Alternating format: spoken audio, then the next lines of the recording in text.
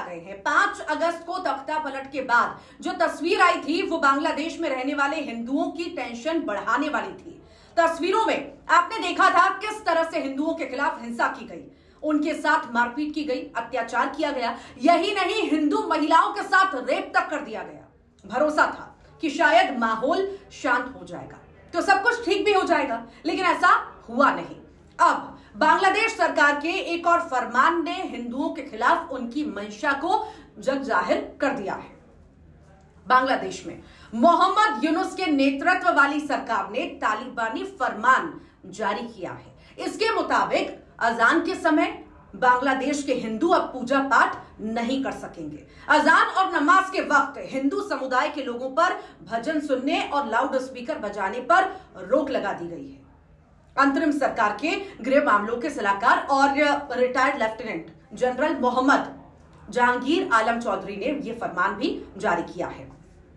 जहांगीर आलम को तो पहले से ही भारत विरोधी माना जाता है। उनकी सोच हमेशा से हिंदू विरोधी रही है। अब ऐसे में इस नए फरमान ने एक बार फिर से सवाल उठा दिया है कि क्या बांग्लादेश अब पाकिस्तान और अफ़गानिस्तान की राह पर चलने लगा है? जिस तरह से बांग्लादेश में हिंदुओं के खिलाफ जानबूझकर उन्हें परेशान करने की साजिश हो रही है। वो क्या कोई सोची समझी साजिश है?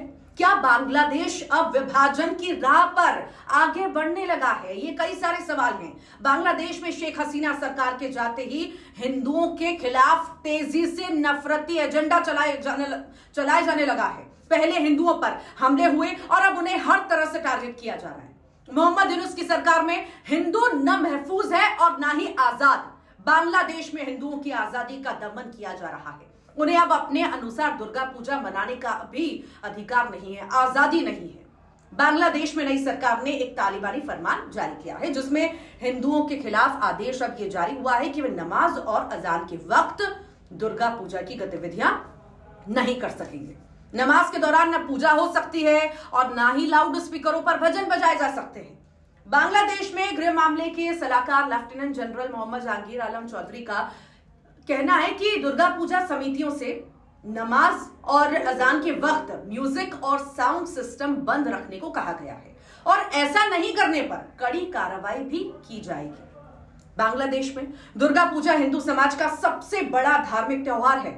बांग्लादेश हिंदू जो है 9 अक्टूबर से 13 अक्टूबर तक दुर्गा पूजा मनाएँगे। ऐसे में जहांगीर आलम चौधरी ने दावा किया है कि हिंदू समुदाय के लोगों की आवाजाही के कारण दुर्गा पूजा के दौरान कानून व्यवस्था में बनाए, कानून व्यवस्था बनाए रखने में समस्या आती है। बांग्लादेश में सत्ता परिवर्तन की बात से अभी तक 300 हिंदू परिवारों और उनके घरों पर हमले हो चुके हैं। इसके अलावा चार बड़ी घटनाओं में हिंदुओं की मॉब लिंचिंग भी हुई है। दस से अधिक हिंदू मंदिरों में तोड़फोड़ और आगजनी हो चुकी है। और उनचास हिंदू अध्यापकों से अलग अलग स्थानों पर जबरन इस्तीफे लिए गए।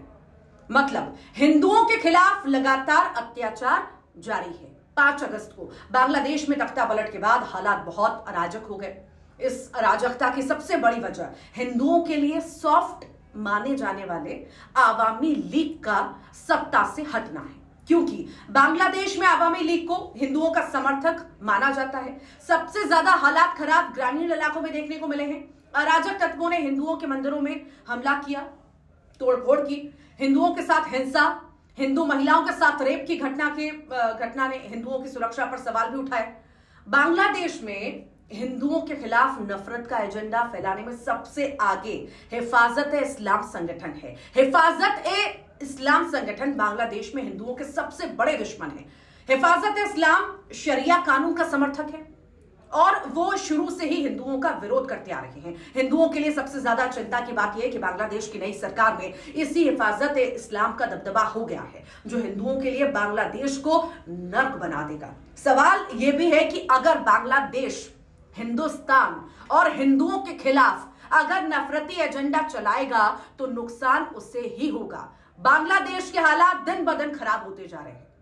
हिंदुओं के साथ अन्याय हो रहा है, उनका दमन हो रहा है। जिस तेज़ी से बांग्लादेश में हिंदुओं का प्रतिशत तेज़ी से नीचे गिर रहा है, घट रहा है, वो भी चिंता की बात है। बंटवारे के समय जो हिंदू 28 फ़ीसदी थे, वे अचानक घटकर 22 फ़ीसदी हो गए। बांग्लादेश की सरकार जिस तरह से हिंदुओं के साथ नफरती एजेंडा चला रही है, वो बांग्लादेश को दूसरे संकट में भी डाल सकता है। अगर हालात में जल्द सुधार नहीं हुआ तो स्थिति और बुरी हो जाएगी।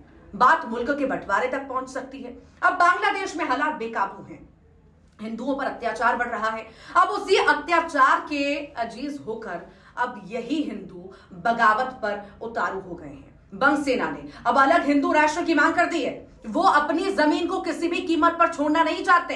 हिंदुओं के त्योहारों पर पाबंदी लगाई जा रही है। हिंदुओं के खिलाफ नफरती एजेंडा एक नई बगावत को जन्म दे सकता है।